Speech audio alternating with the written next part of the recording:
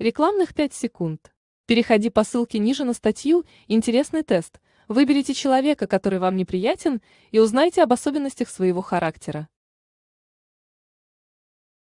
Реалити-шоу «Дом-2» переехало на канал Ю. Однако скандальная телестройка появится на экранах без ведущей Ольги Бузовой. Об этом рассказали Стархит анонимные источники.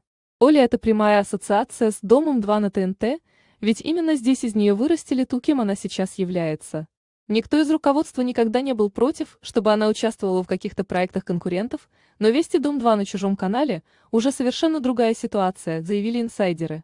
Сообщалось, что Бузовой предлагали 30 миллионов рублей, чтобы она стала телеведущей на новом канале.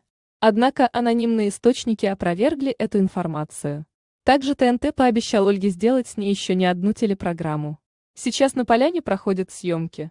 На шоу пришло два поколения участников – последний состав, который был в декабре прошлого года, и те, кто давно не был на проекте.